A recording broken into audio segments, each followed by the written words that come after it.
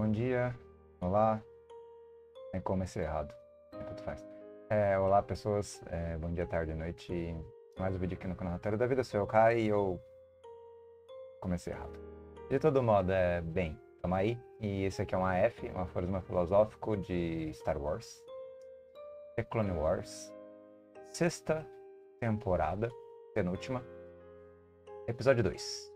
E essa frase do episódio 2 é um pouco. É, eu não sei nem se ela é uma frase ou ela é uma fala. Parece como uma fala, sabe? Alguém falou um negócio e colocaram como se fosse uma frase.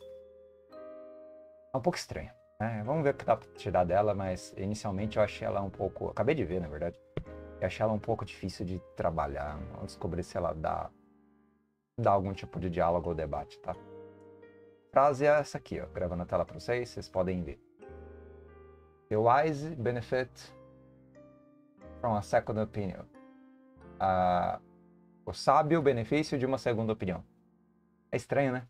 O sábio benefício de uma segunda opinião.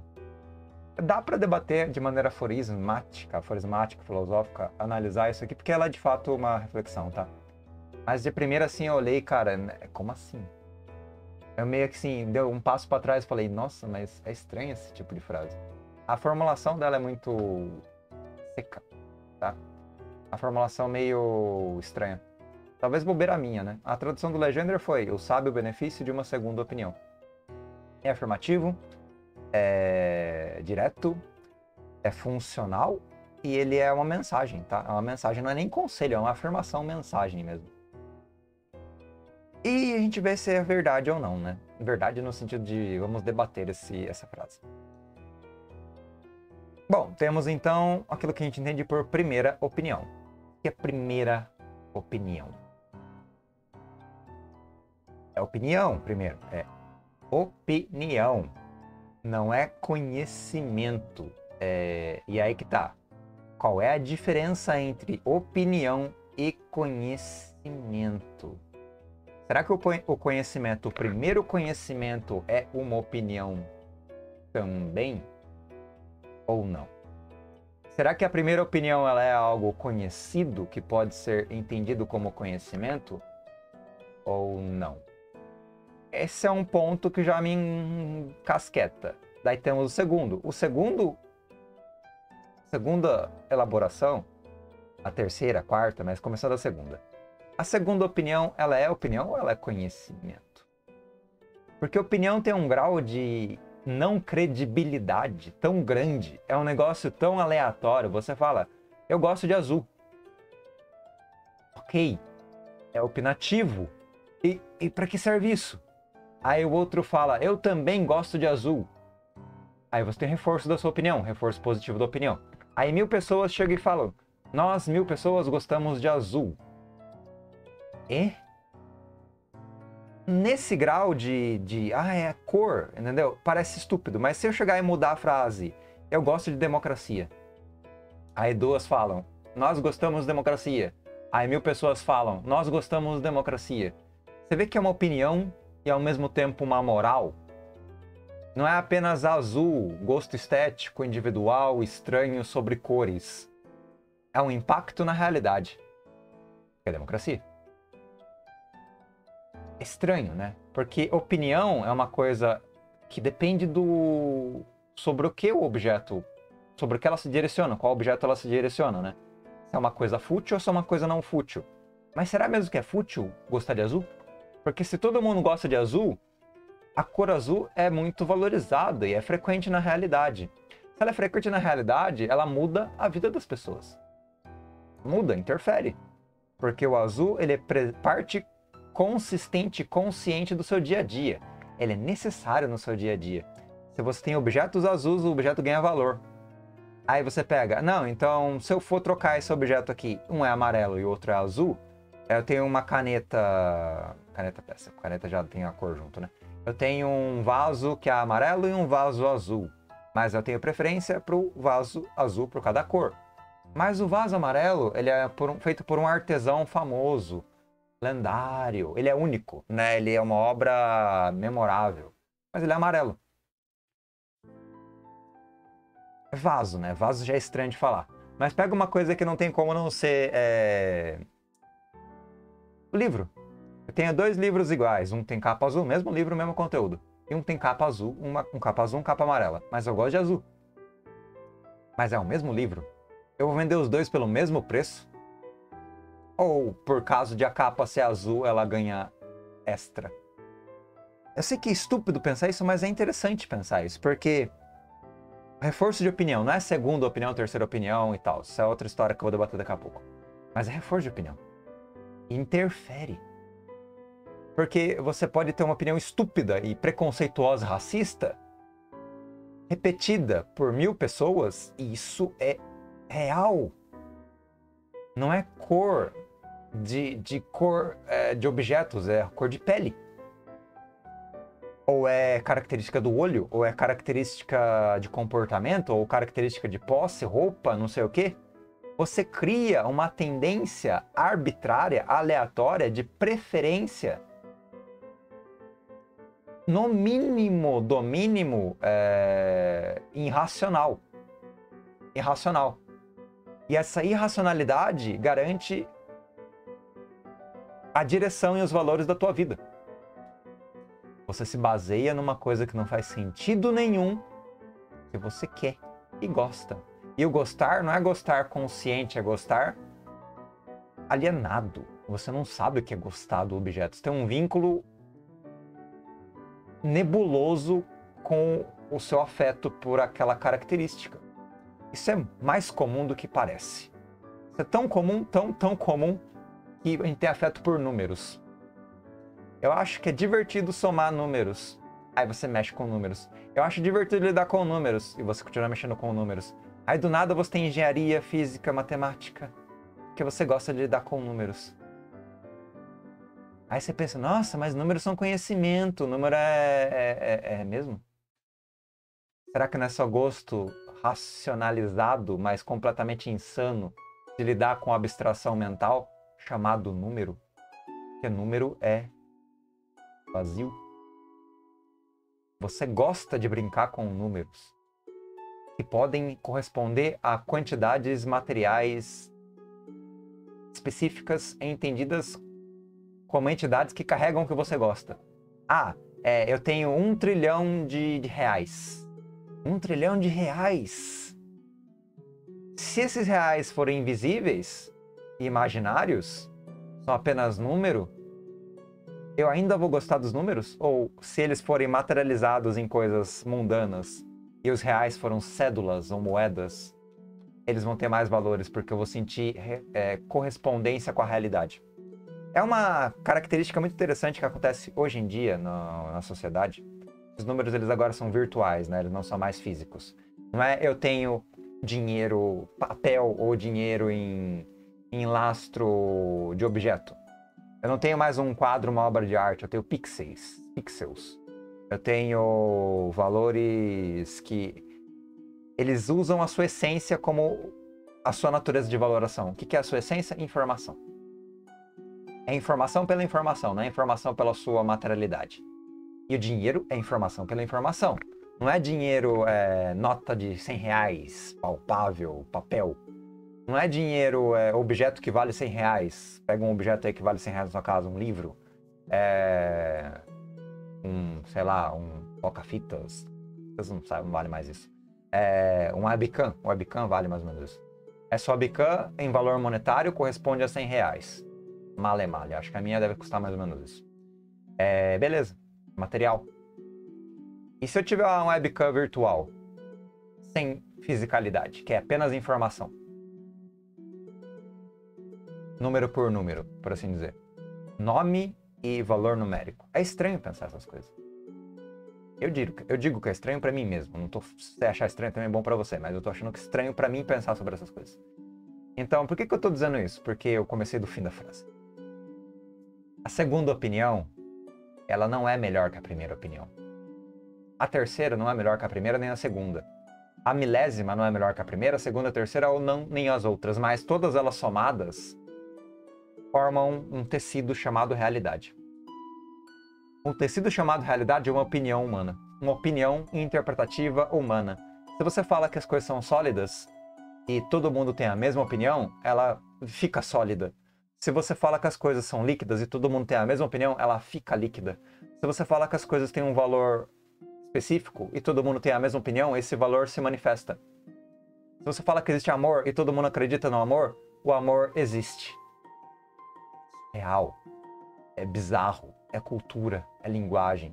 É, é a cognição se manifestando através da replicabilidade em, em consonância, onde cada indivíduo consona com o outro, sincroniza em linguagem, sincroniza em valor, sincroniza em intenção e isso gera o que você entende por linguagem. Linguagem e linguagem diretiva valorada chamada conhecimento.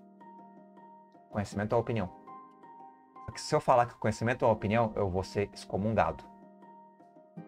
Porque conhecimento não pode ser opinião. Ele tem que ser para além da sua perspectiva antropocêntrica humana. Ele tem que permanecer para além da interação humana. Mas será que alguma coisa permanece para além da manutenção constante da consciência humana? Ou não? E essa frase Star Wars leva a esse tipo de reflexão. Tá? O benefício, o sábio benefício de uma segunda opinião é um benefício. É sábio, por que sábio? Eu não entendi por que o sábio, mas é um benefício da segunda opinião. O que é o benefício da segunda opinião? É contraste. Se você tem uma opinião diferente, você pode regular na referência a sua ação segundo a visão do outro. Tipo assim, eu quero pegar um ônibus para chegar em um lugar, uma cidade, uma cidade lá e tal. Cidade G, aleatória, cidade G, X, X é melhor. Cidade X, eu quero ir para cidade X. É, eu tenho a minha opinião de como chegar lá. Eu vou consultar uma segunda opinião. Essa segunda opinião, ela pode ter duas características, três na verdade. Ela pode não afetar em nada, neutralizar, ser indiferente, ela pode afetar positivamente ou negativamente. Positivamente, se ela reforçar é, ou é, me ensinar positivamente de acordo com a sincronia com a minha opinião inicial. Ela é positiva porque ela sincroniza. Ela é neutra se ela não serve para absolutamente nada. E ela é negativa se ela deteriora a minha opinião originária, minha opinião primária minha, minha visão de mundo. Só que ela é negativa não porque ela anda me, me destruindo, me agredindo. Ela é negativa porque ela está me ensinando uma outra possibilidade. Se esse cara que me informou com uma segunda opinião fala que é mais barato pegar esse tipo de condução, mas eu vou demorar 10, 10 horas, né?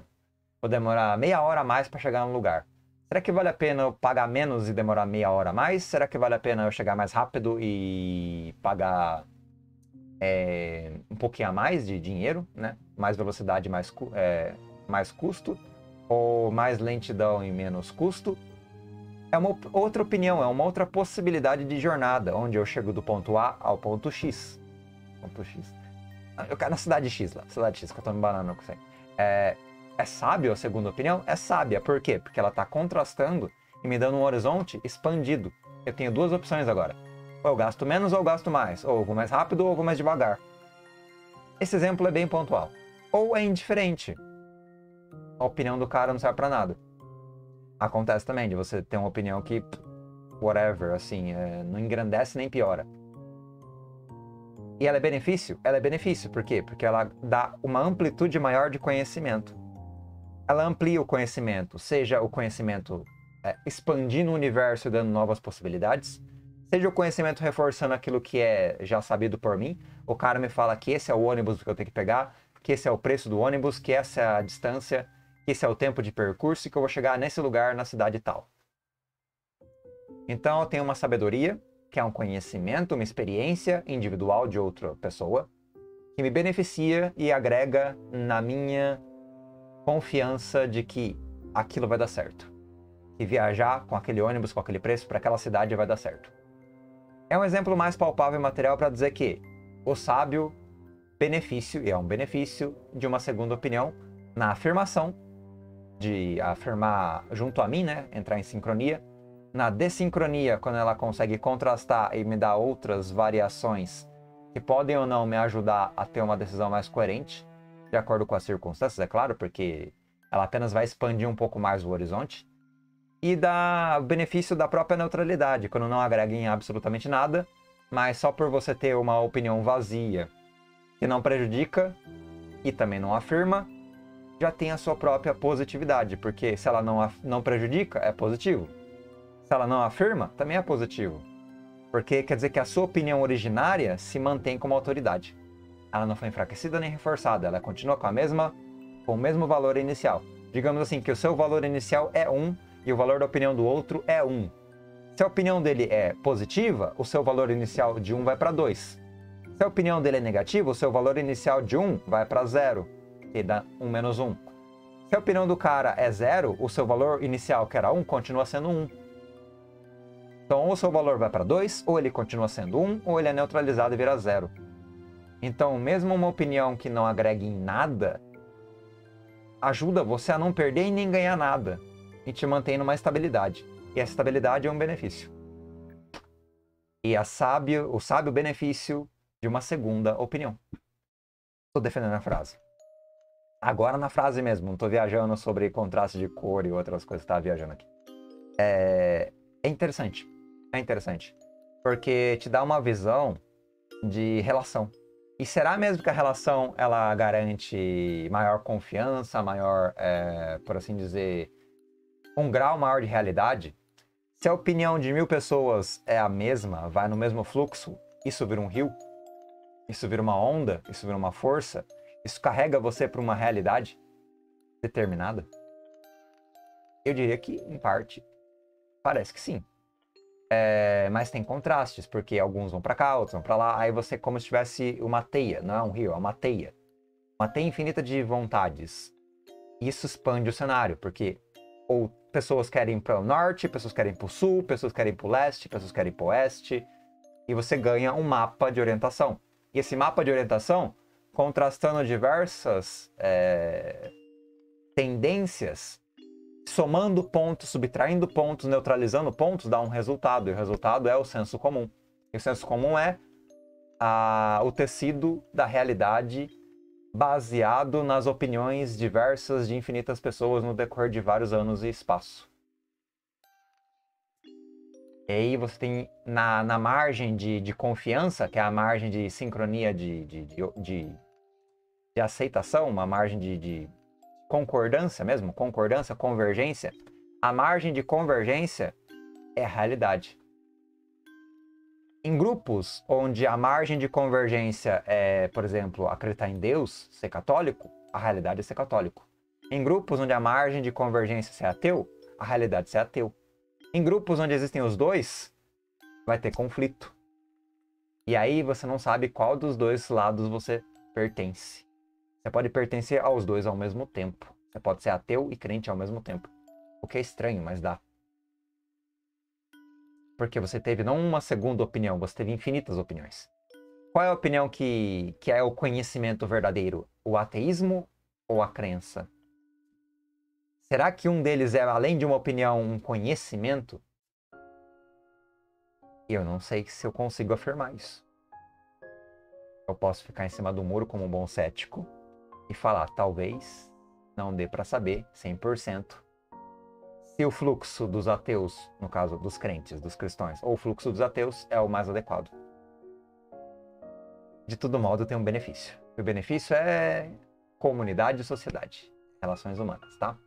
Então essa foi a frase do segundo episódio de Star Wars The Clone Wars. Frase, como vocês podem perceber, muito instigante, mas que exige um certo, uma certa intenção e liberdade para você abranger e adentrar sobre ela. Tem que se esforçar um pouquinho, tá? Porque de primeira leitura você vai usá-la de maneira mais superficial. Mas quando você começa a brincar com a frase, dá umas dá um raciocínio divertido. Tipo, eu pelo menos acho que teve uns raciocínios divertidos. Não sei se aqui é útil, mas pelo menos eu acho que aprendi alguma coisa lendo ela falando comigo mesmo em voz alta. Mas é isso. É, grato pela presença, pessoas. Obrigado aí mesmo e até a próxima com outro aforisma de anime ou de Star Wars de base para debater algum assunto, tá? Valeu aí pela presença, pela quem ouviu até aqui e falou aí. E é isso aí. Falou.